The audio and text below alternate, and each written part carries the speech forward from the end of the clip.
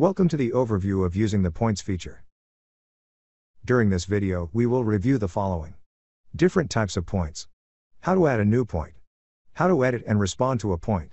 How to close or delete a point and how to create an email using the points feature. The points feature is important because it allows users to share information relevant to other users for completing tasks.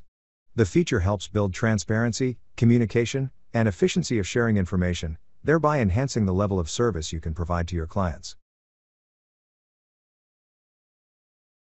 The points related to a specific task can be accessed within the control sheet or the task page in the Points section.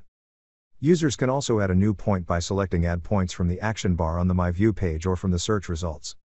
Users can access the points for a task by selecting the link under the Points column in the My View or search results page.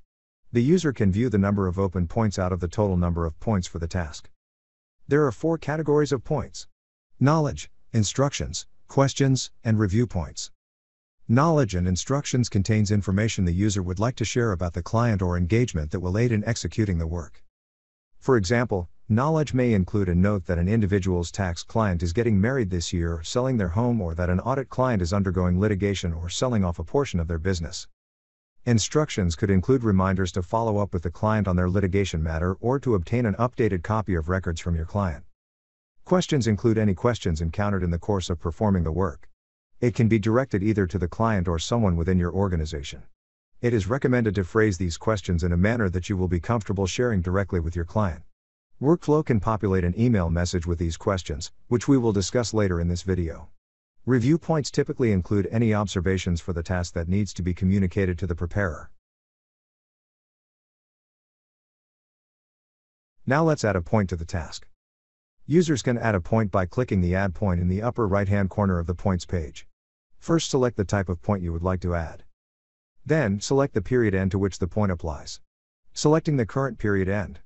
This indicates that the entry applies to only the current period end, and will not carry over to the subsequent period end.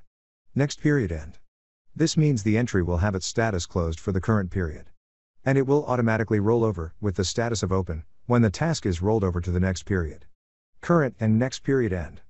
This means the entry will be open for both the current and next period end and it will automatically carry forward during rollover. Selecting permanent means the entry will remain open. And it will be carried forward through future rollover of the task. Users can also select prior year amount or reference number as applicable. They can also check on the extension box if this point applies to an extension. Once all the applicable fields are filled in, the user can enter the point in the text box. Clicking Save and Add New indicates the user is likely to add additional points. Clicking Save and Close brings the user back to the updated point screen. The user will now see that the point has been added under questions in the point screen. Users can also create an email using the points feature. To email points to a client, select the boxes to the left of the appropriate point and click Create Email. This will open the user's default email application. Users will see the to field, will populate with the email address of their client from the client database. All of these fields can be edited once the message is populated. Users can customize the language they would like to use. As mentioned earlier, it's a good idea to phrase your points as though they will be directly emailed to the client. Users can add a response to a point by editing the field directly. Simply double click in the response field of the point they would like to respond to. Users will see the pop up window appear and they can type the response. Selecting Save and Close indicates the user would like to save their response and close the point. Selecting Save and Open indicates the user would like to update the response, but they would like to leave the point open. If the user closes the point, the status will update automatically to closed. Once the user edits the response to a point, the response column is updated with the date of closure and the user's name. The by whom column will update with the user's initials.